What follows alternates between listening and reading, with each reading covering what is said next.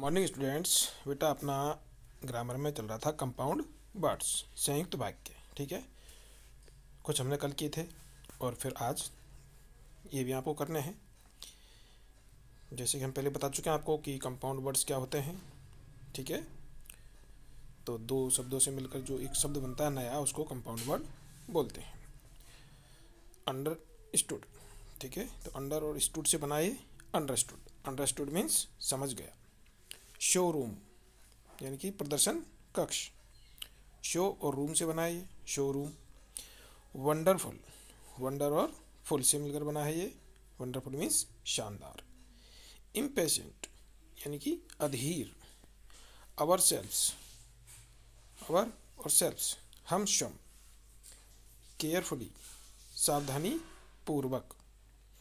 Handmade hand and made यानी कि हाथ का बना। नोटबुक मीन्स कॉपी जिसमें हम काम करते हैं, अपनी नोटबुक होती है वो नोट और बुक होमवर्क गृह कार्य होम और वर्क से बना है ये गृह कार्य और प्ले ग्राउंड प्ले खेलने का स्थान, ठीक है ग्राउंड प्ले ग्राउंड यानी कि क्रीड़ा स्थल, जिसको अपन क्या बोलते हैं, खेल का मैदान, ठीक है बेटा, ये आपको सुंदर सुंदर राइटिंग में अपनी नोटबुक में लिखना है, और फिर कल हम आपको एक्सरसाइज देंगे, उस एक्सरसाइज को आपको कंप्लीट करना खुद और अच्छी तरह से इनको याद करना।